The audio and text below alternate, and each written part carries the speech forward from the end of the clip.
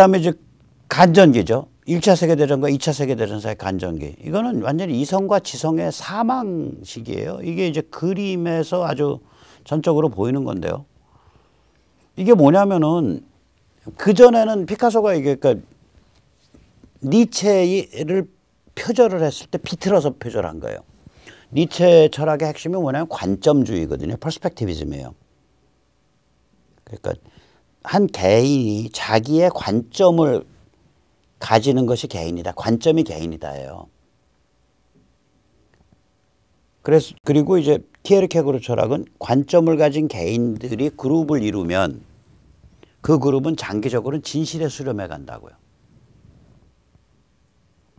근데 이 피카소는 이 관점주의를 비틀어 갖고 한 사회에 여러 개의 관점이 서로 투쟁하고 분열돼 있는 모습 혹은 내 안에 다중인격자처럼 여러 개의 관점이 존재하는 모습 이거를 그림으로 나타낸 거예요. 관점과 관점 사이의 분열과 충돌 통합은 불가능한 그러니까 한 화폭이 관점이 여러 개죠. 우리가 이게 이제 뭐냐면 원근법의 파괴입니다. 이게 아마 보티첼린가가 만들었을 거예요. 레오나르도 다빈치가 어 가장 이제 띄웠고요. 그러니까 15세기 뭐 16세기 때 그거를 400년 만에 파괴해 버린 거예요. 이 원근법이 영어로 perspective라고 불러요. 관점이라고 불러요. 왜냐면 한 화폭은 하나의 관점에서 그려져야 되거든요. 근데 여기 이제 이상한 그 여성 보면은 이 화폭의 여러 개 관점, 한 두세 개의 관점이 지금 작동하고 있잖아요. 게르니카 저거는 뭐 한 일곱, 여덟 개 관점이고. 그러니까 한 화폭이 여러 개의 관점이 작동하고 있는 다중, 다중 관점. 근데 그 관점들이 어떤 조화를 이루고 서로 타협을 할 수 있고 통합을 할 수 있고 이런 상태로 다중관점이 존재하는 게 아니라 서로 막 삐깔리고 찢어져 있고 분열돼 있고 충돌하고 이렇게 존재하는 거 아니에요. 이게 뭐냐. 이성과 지성 다 빠개졌다는 소리예요. 100년 전에 이미 이런 그림이 나오는 거예요. 현대 문명에서. 그러니까 반, 그러니까 지성주의라는 거가 성립을 하기가 어려운 상태가 된 거예요. 인간의 그게.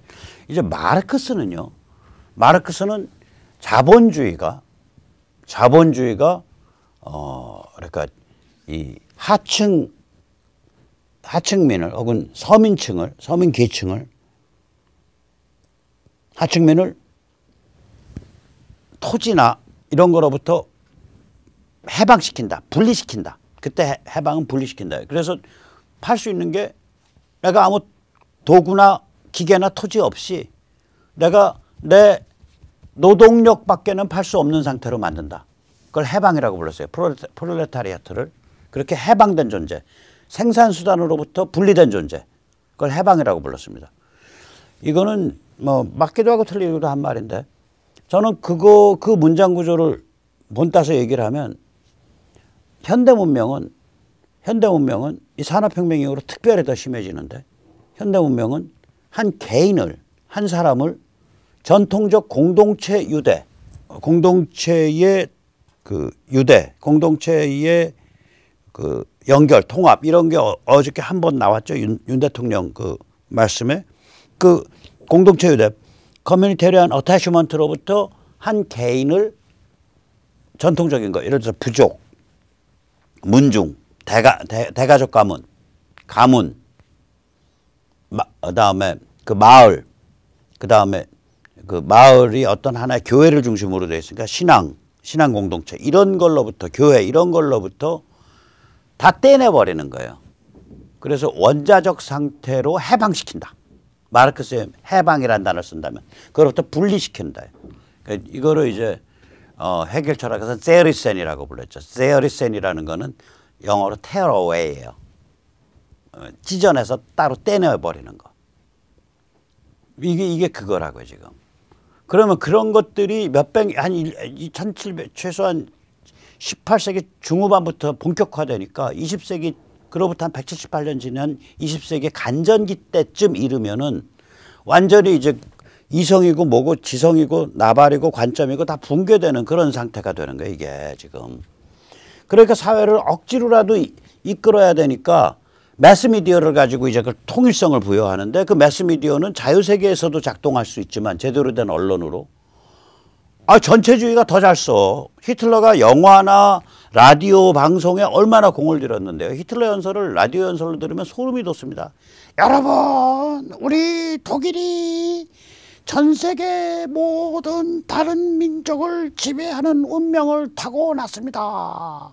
이런 식으로 그 라디오 목소리 들으면 돌아버려요 히틀러 그거 완전히 그 사람 영혼을 바닥서부터 긁는 악마의 소리예요 그거 스탈린이 문화선전을 얼마나 중시했어요 매스미디어와 영화에 대해서 예를 들어서 테레비 지금 유럽의 그 옛날 지상파 테레비 주사선 숫자 그게 625 라인입니다.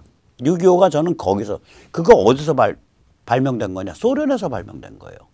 그 소련이 테레비 표준, 그게 유럽 표준으로 나중에 옮겨갔을 텐데 테레비 표준을 만든 거에 대해서 굉장히 자부심이 있었어요. 그래서 저는 3.16 천안함 폭파는 우나미 승만 대통령 생일에 맞춰져서 저지른 일이고 6.25 남침은 소련이 정말로 자부심을 느끼는 지상파 테레비 주사선 숫자에 맞춰서 저지른 일이라고 좀 봐요.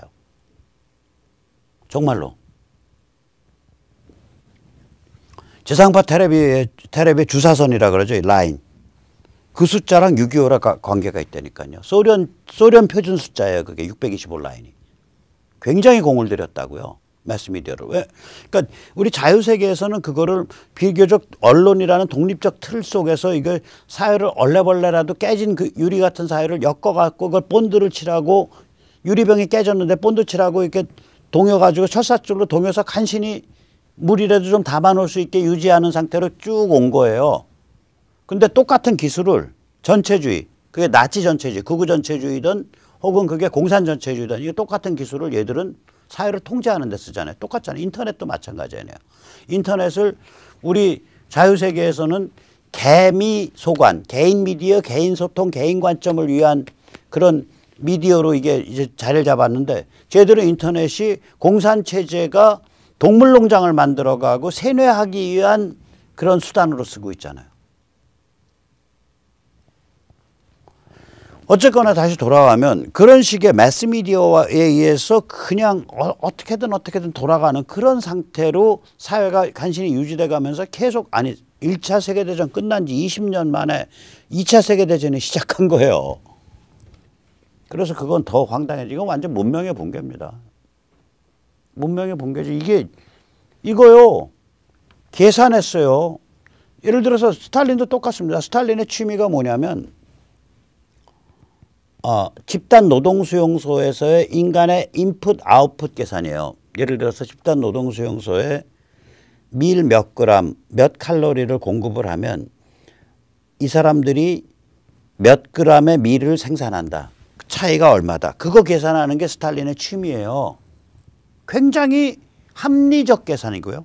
굉장히 지능적 계산이고요. 엄청난 지식의 축적입니다. 그래서 이성이나 지성, 이성, 지식 이런 것에 대한 근본적 회의가 생기는 거예요. 이게 도대체 이게 악마의 도구가 될 수도 있고 한 개인한테는 나의 무의식과 욕망의 노예가 되는 거예요. 이게. 그러면 이게 제대로 작동하게 하려면 어떻게 해야 돼? 이제 이런 근본적인 문제가 제기되는 거예요. 그래서 지성과 반지성을 넘는 문제가 제기된다고 이게. 그래서 여기서 우선 첫째 하나가 진실은 어떤 지식의 쪼가리가 아니라 이건 프로세스다.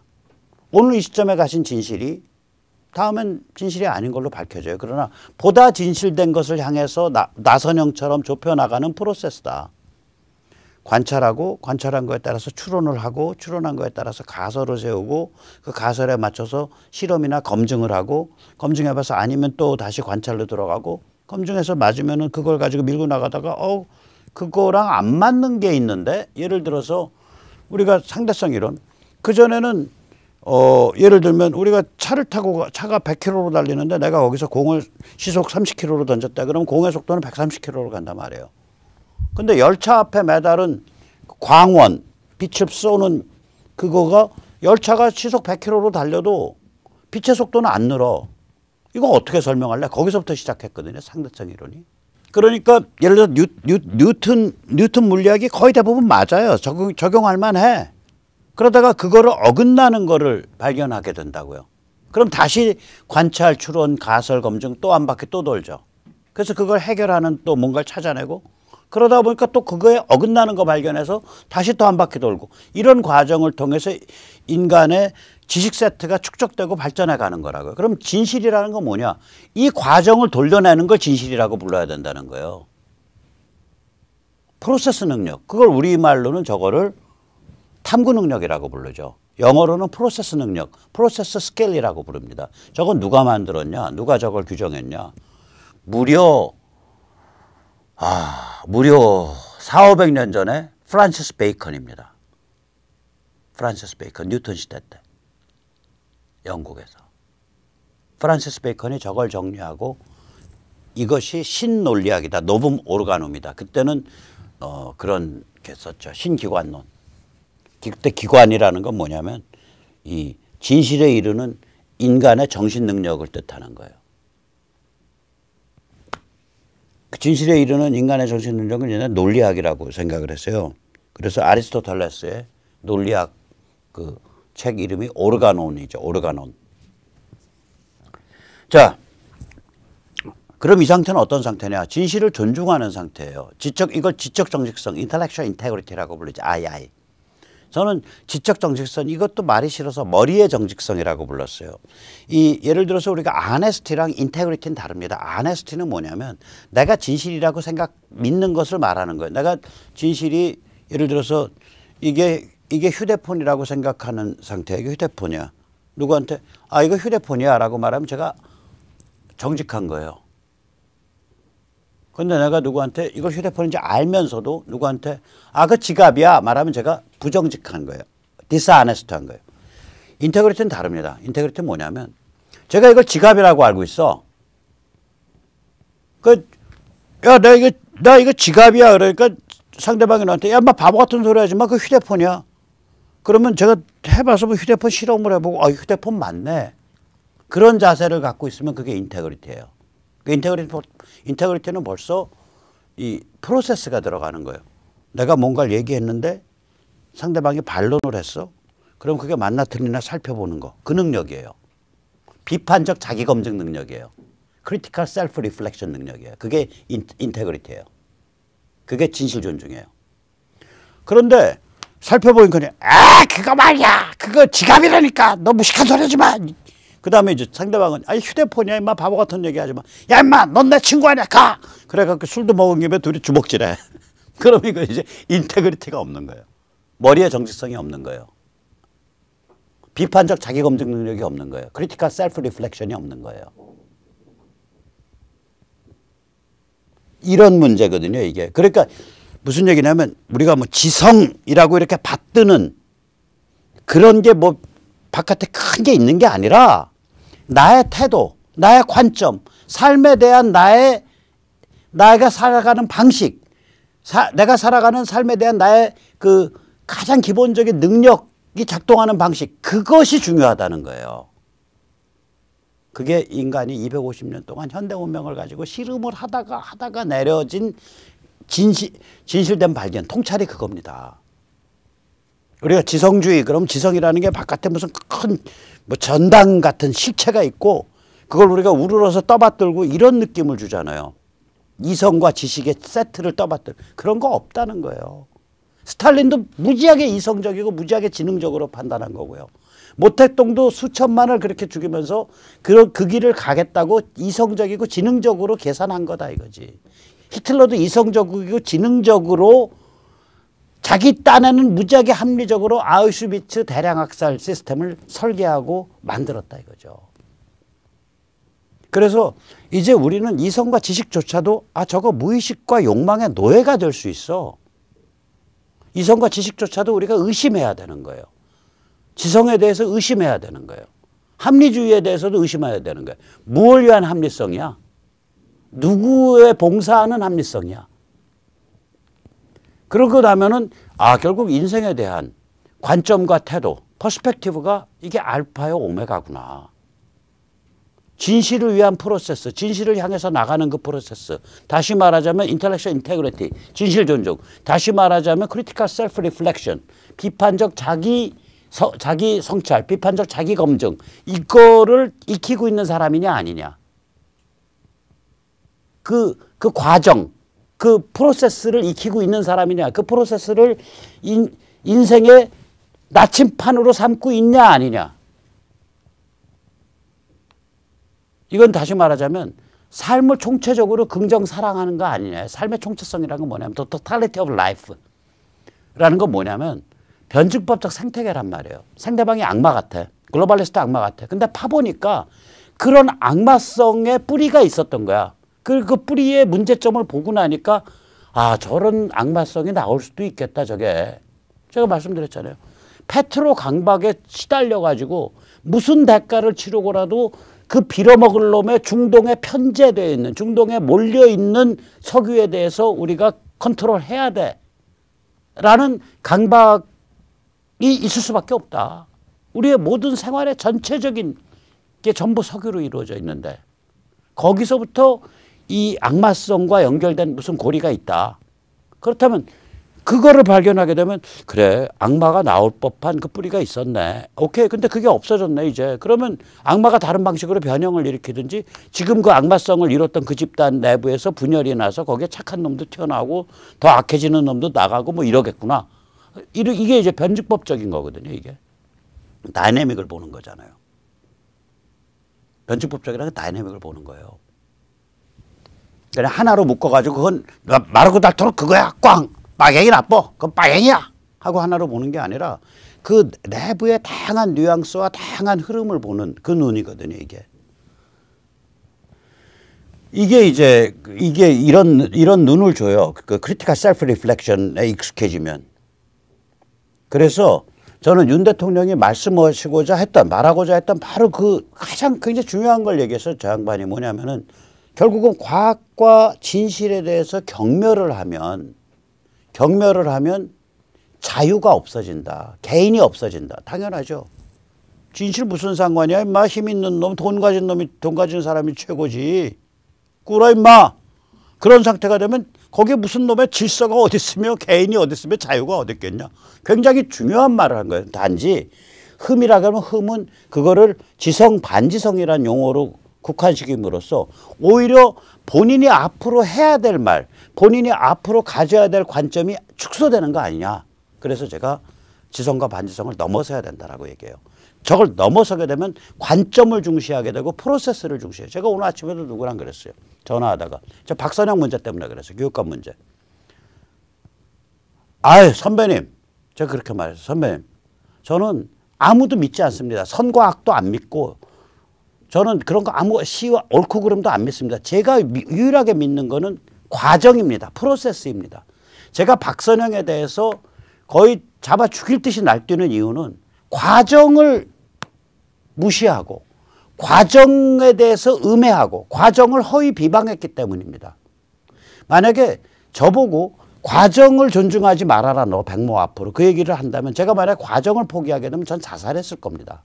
제가 이렇게 울퍽질퍽한 인생을 한 3, 40년 20살 18살부터 살았는데 그러면 지금 예순 예순 셋이니까 45년 동안 진짜 롤러코스터를 어마무시하게 타고 사는 사람인데 그 롤러코스터를 타, 타다가 제 자살했을 겁니다. 제가 제가 과, 과정을 존중하는 그걸 못 배웠으면 즉 다시 말하자면 제가 비판적 자기 검증 능력이 인생의 알파의 오메가라는 그 진실을 못 배웠으면 전 자살했을 겁니다.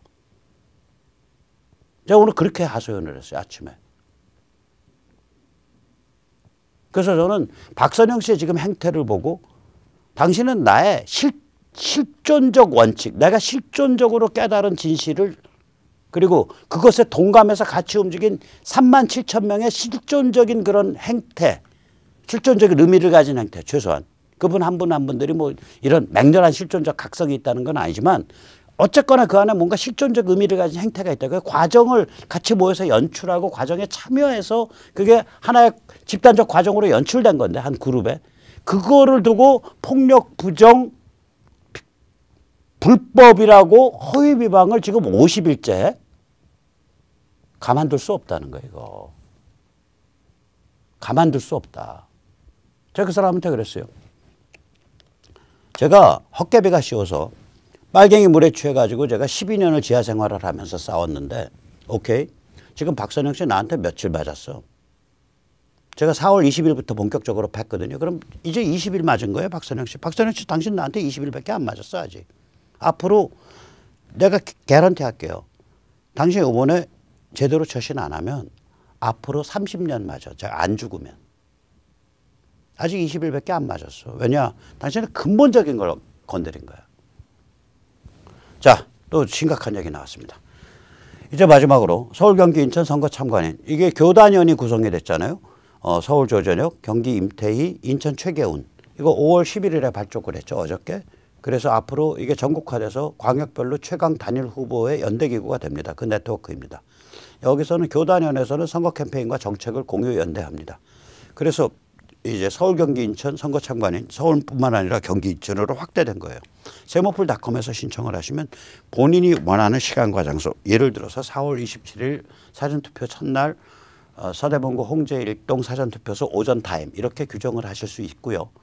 만약에 그런 웹이 불, 불편하시면 그냥 문자로 성함 핸드폰 번호 광역 기초구 행정동을 적어 보내주세요. 홍일동 010-1234-5678 서울 서대문구 홍제일동 이런 식으로 적어 보내주십시오. 네 오늘 여기까지 모시겠습니다. 감사합니다.